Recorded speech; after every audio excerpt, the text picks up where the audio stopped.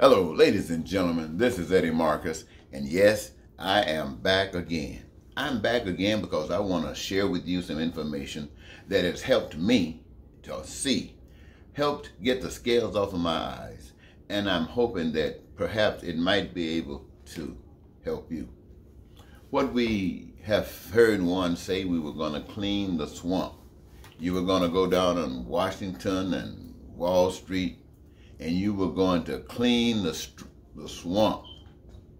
Now, the last time I heard someone say that, it is, it proved to be strange because everything that was associated with the administration appeared to be at one time or another dangling in the swamp with all kinds of legal problems, all kinds of violations against the people and the laws and and criminal that's purely criminals.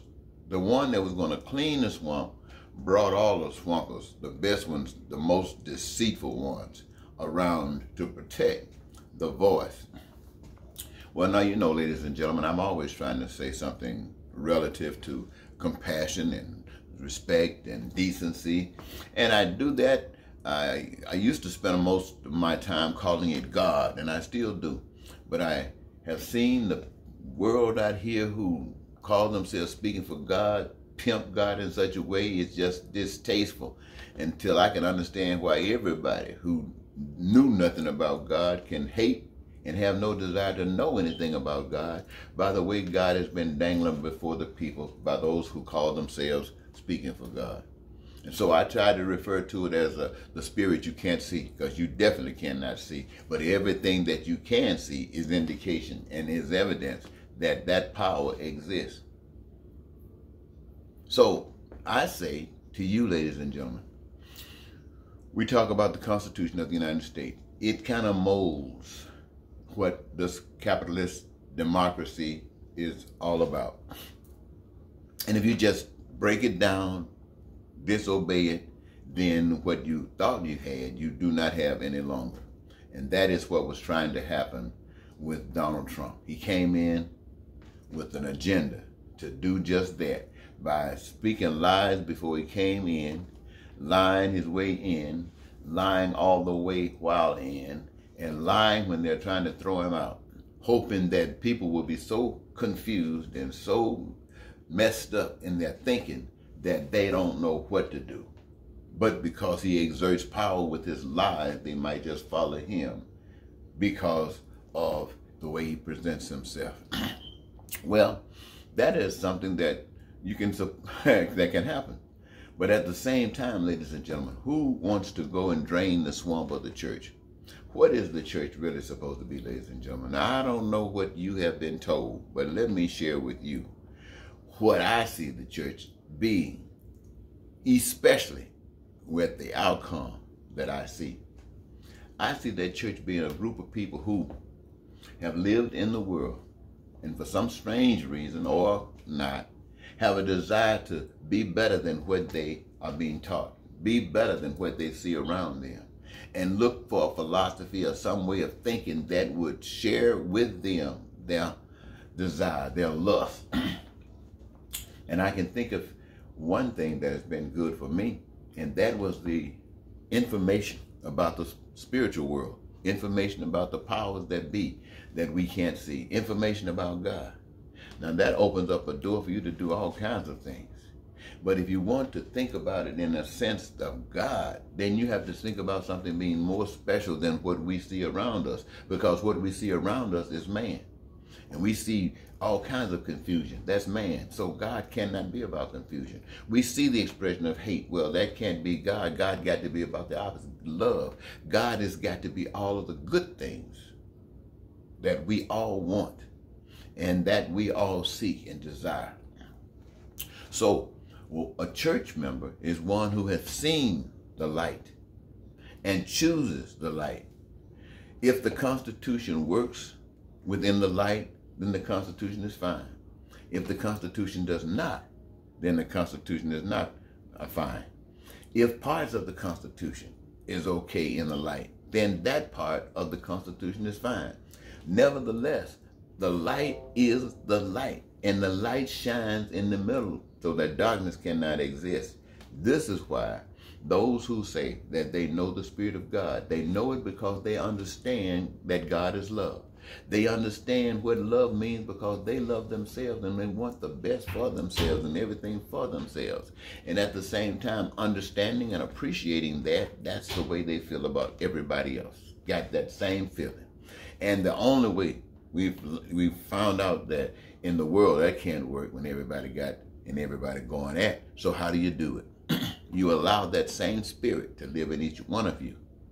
That same spirit live in each one of you and you become that same love to one another. You become the great gift of God's love to one another, whereby you will live in peace.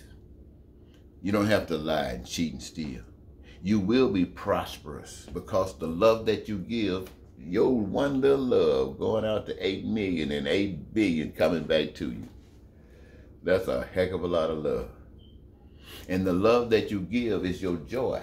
It is your greatest joy because it explains, it tells the world who you are. And the world loves you because the world needs you, wants you, and desires you, my friends. And after that, the fulfillment of your dreams, life is fulfilled. Now that is the church.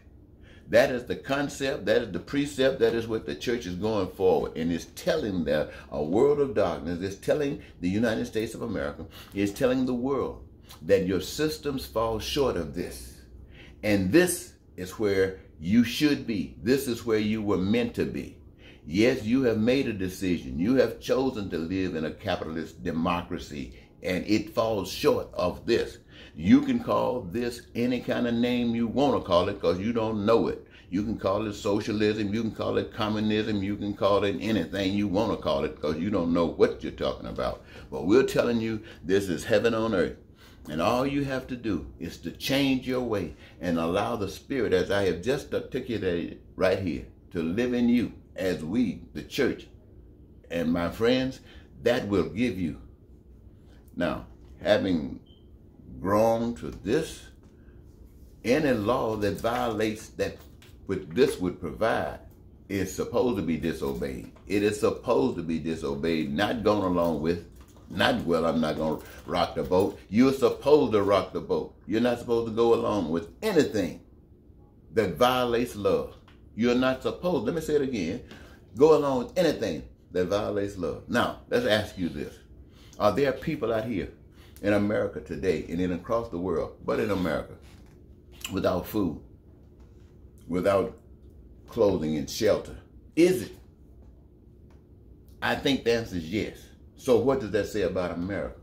It's a heck of a lot. Ooh, it doesn't even come close to the way love is. Ask yourself, are people having problems with education? Do they have access to it? Does it fluid? the, the, what's the problem? Do they are there problems in education? And I, you know, the answer is yes. So what does that say about America? What does that say about the world? You're falling short. You're falling short. Healthcare. Well, you know what we're going with healthcare. It's just pathetic the way healthcare operates. Cost, lack of, all of these things. So what does that say? That says that America is falling short. And what about employment? You got millions of people unemployed. You got people with these problems with wages. You got costs. What does that say? That says that America is falling short because these problems do not exist when you start exercising different principles of life. These things don't exist. You don't have to lie. You don't have to hate. There's no need for racism or bigotry. So this being the case, why do you continue to preach about a God that requires somebody to plant a seed of a thousand dollars or more so they can get more money? That's a crook. That's a, snake in your way. What if somebody telling you you're being blessed and just sit back and wait on the blessings of God? That's a lie and a crook. a snake in your way. So what am I saying to you? If you are a member of the spirit of love, what I've just explained to you is what you are about. That's love.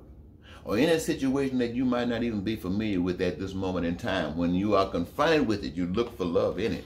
And that's the path you take. That's being a member. And if you're going to talk about the spirit that you can't see, then you got to know what you're talking about. And what is it speaking? It is saying that every individual in this country and in on this earth, but in this country right now, should have access to everything that they need, want or desire. Should, without a shadow of doubt, because that's what our business here is to do, is to assure that to one another not to be ripped off and help somebody else rip somebody else off, making them superior king, queen, uh, pharaoh, president, or whatever you want to call them, or white power. Ah, man, come on, come on now, stop acting crazy. Now, if your preacher's not telling you that everybody should have their problems resolved and that it is the responsibility and your duty as a child of God to take care of that, if they're not telling you that, hey, that's because they are in the swamp and you should not be listening to them. These guys out there, look here, supporting Donald Trump, and Donald Trump that you know he's about evil. But they're in the pulpit preaching to people about God, and they're supporting Donald Trump. What does that tell you about them? The same thing it tells you about this country. And it explains to you why the country is like it is. Because people who tell the truth get shot down, get assassinated get assassinated. Yeah, when you stand up and tell the truth, they kill you. Why? Because they don't want you here. They want to keep on living in hell. And so people say, well, God understands. And God knows my heart. God don't know your heart. You stand there if you believe it. If stand there if you deserve it. And if they shoot you, let them shoot you. Um, you're going to sit back and say, God knows you. People getting shot down for standing up for truth. People get shot down so the other, so the rest of the world can know what love is. And you standing up talking about God knows your heart while you ducking. And we know what ducking means. Ducking means you falling in line. When the when the devil say jump, you say high, high, how high. Preaching about God. Yeah. Now you know who you are, and everybody else know exactly who you are. The question is, are they going to keep on honoring you? Or are they going to grow up without you? Think about it.